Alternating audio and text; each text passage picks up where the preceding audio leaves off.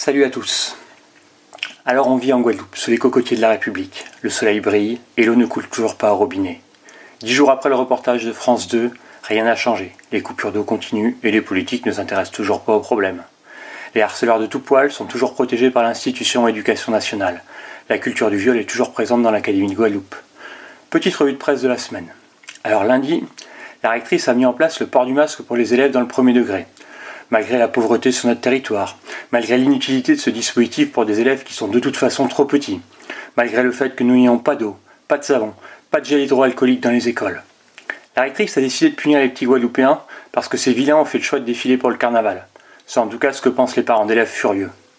Si la situation sanitaire se dégrade, c'est parce que notre archipel a vu se déverser depuis Noël des milliers de touristes et les Guadeloupéens n'y peuvent rien. Dans la plus pure démagogie qui les caractérise, les hommes politiques de Guadeloupe, dont certains ont voté la loi à l'Assemblée nationale, sont montés au créneau comme un seul homme. Quand on sait l'état pitoyable dans lequel ils laissent les locaux dont ils sont responsables, on se dit qu'ils se moquent vraiment du monde. Clientélisme, quand tu nous tiens. Mardi matin, trois heures de réunion sur les lignes directrices de gestion. La suite. Après trois heures de bavardage lundi, les compétences de la DRH sont mises à rude épreuve. Tout ça pour arriver à recopier sans trop de fautes le texte ministériel. Des dizaines de pages d'autant plus inutiles qu'avec la disparition du paritarisme, le contrôle des opérations de gestion des personnels est impossible. Mercredi et jeudi, blocage de la Guadeloupe par les barrages, par les petits patrons du BTP et des transports. La rectrice organise une visioconférence pour détruire l'éducation prioritaire embryonnaire de notre académie via la contractualisation et les expérimentations de CLA. Comme la Guadeloupe ne fait pas partie du dispositif expérimental du ministère, la rectrice, pour se faire mousser au ministère toujours, doit prendre les moyens aux autres établissements déjà réduits à la portion congrue la FSU boycotte cette entourloupe. De nombreux établissements scolaires sont fermés. Les petits chefs aigris ou en mal de reconnaissance se réveillent pour faire du zèle. Dans le premier degré, on demande aux collègues qui ont les pires difficultés pour se déplacer de rejoindre illégalement des établissements de repli.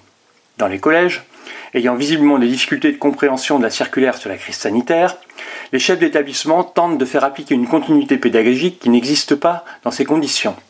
En effet, la continuité pédagogique n'existe que dans le cadre du contexte sanitaire du Covid. Un blocage par des gens du BTP n'a strictement rien à voir avec cela. Jeudi, nouvelle réunion en visioconférence sur les ressources humaines.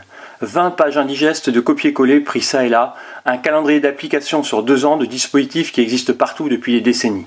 Et un petit paragraphe de 4 lignes sur le harcèlement, dont le mot n'a qu'une occurrence sur tout le document. Soyez rassurés, ce sont les chefs d'établissement qui doivent gérer les conflits de proximité. Si vous avez un problème avec un chef, il va immédiatement se remettre en cause comme vous pouvez l'imaginer. Pas une virgule n'a changé malgré les demandes multiples de la FSU.